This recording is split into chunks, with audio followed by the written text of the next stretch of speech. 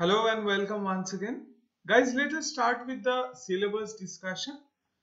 So, uh, on the first session, we are going to discuss about this workflow, which we had already discussed in the you know demo version, that is analysis and design. What is the uh, basic uh, you know definition of this analysis and design? Then uh, we'll have this you know background color setup. We have two different types of background colors, that is white background and black background that uh, will be showing you the basic unit setup right?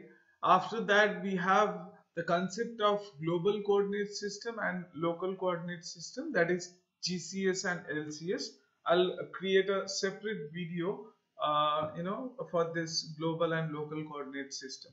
Uh, then we'll start with creating new project or setting up with project units uh, the graphic user interface uh, will know each and every details about the menu bar, toolbar, mode bar, the page control and all right? The missing toolbars check. That is if any toolbars will be missing we'll get to know about uh, with this command right? Then we'll get an idea about the keyboard's sh uh, shortcut keys the different shortcut keys that are being used so uh, then we'll move to the structural modeling part wherein we have uh, the first topic as creating nodes using coordinate system and the snap node beam. So we have two options, one with the data entry part that is uh, with the Excel format using X, Y and Z uh, value that is the coordinate system.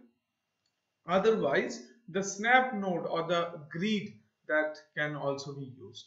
Then we'll uh, know how to add beams. That is, there are different options like add beam from point to point, then add beam using midpoint, add beam by perpendicular intersection. So all these different types we'll get to know. Okay, then uh, we'll move to this copy paste uh, and move nodes and beams.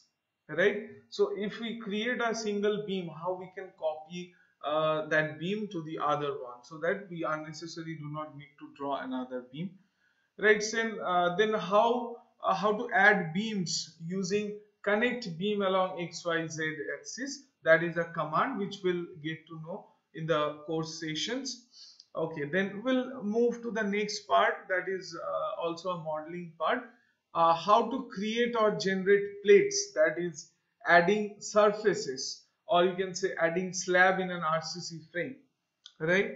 Then we'll get to know the structural elements like the node cursor the beam cursor the plate cursor or the surface cursor these cursors are being used for selection of these individual items right? Then we'll get to know how to check distance between two nodes or the distance or the you know uh, length of a particular member right uh, then we have these commands. Translation repeat circular repeat these commands will get to know. These are actually very essential commands for the structural modeling right?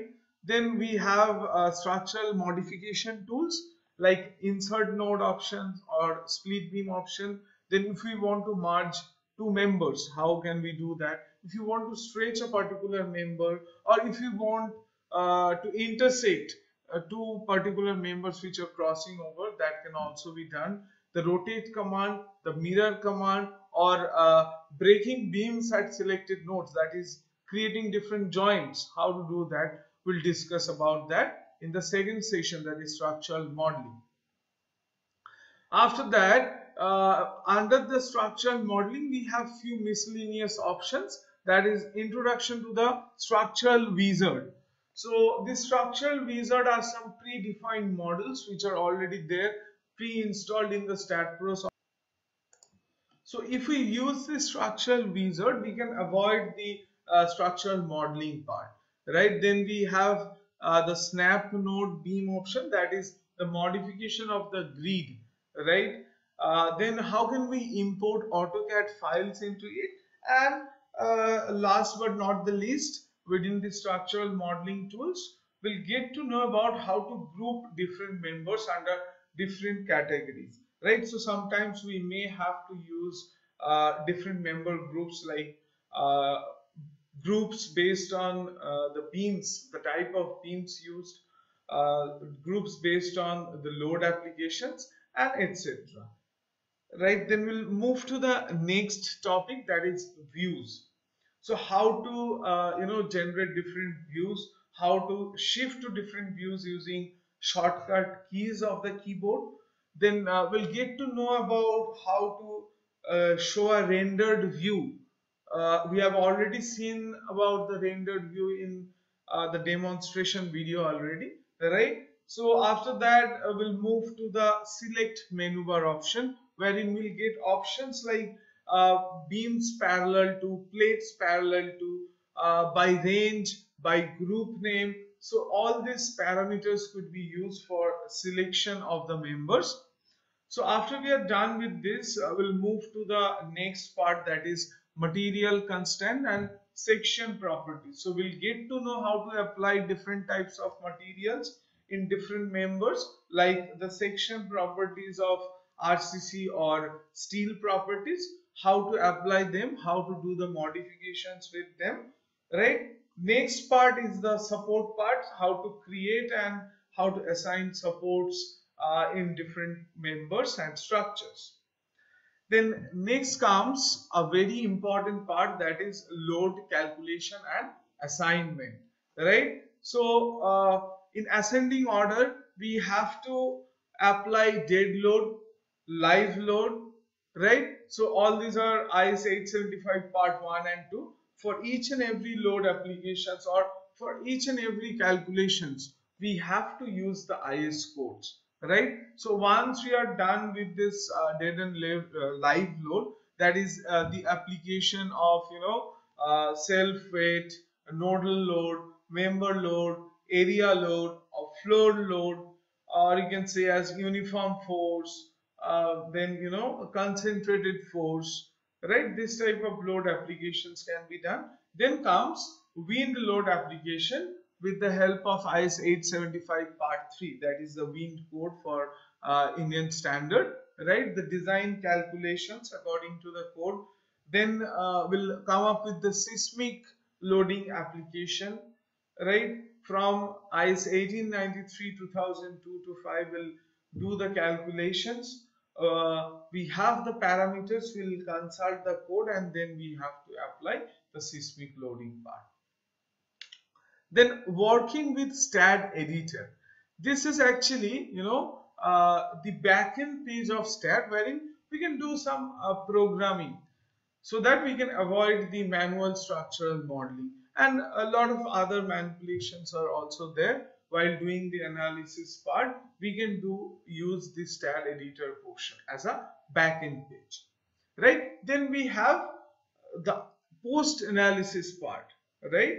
So post analysis print, we will be getting the data uh, after we are done with the input data like uh, the load applications. We will be checking the results that is the shear force, bending moment, displacement, reactions that is the internal forces that have been generated. We'll get to know about those in details with the graphical representation as well as the maximum and minimum values. So after uh, the post analysis part let us uh, we'll move to this RCC design and steel structure design. So under RCC design we'll get to know about designing RCC beam and column structure. That is basically the frame structure and then uh, we'll move to the steel design portion wherein we'll uh, discuss about different uh, projects for both RCC and steel structure designing we'll discuss about different life projects so guys being a civil engineer I had already worked in the structural uh, designing uh, you know sector and I had an experience of working with the oil and gas industry and uh, this RCC industry as well. Uh, I have worked with uh, real estate industry in uh, you know RCC design. So I'll share the projects along with so that you know it will be helpful for you guys. You can practice this type of projects and during the time of interview or while doing some professional projects, this could be of some help for you, right? So uh, after that, we'll move to this foundation part. We have this isolated combined raft footing type of foundation and few miscellaneous structures will also get to uh, practice within this course curriculum. So now uh, after that we'll give some projects, the life projects which I had already been discussed. Uh, you have to submit those projects in order to get the certificate. So guys, we are who are already associated with this uh, software courses, they already know to get a certificate, you have to submit these projects, right? So uh, that will be all for the syllabus discussion. Now I'll show you the exercises which you are going to cover within this course curriculum. So let us just take a look on these exercises.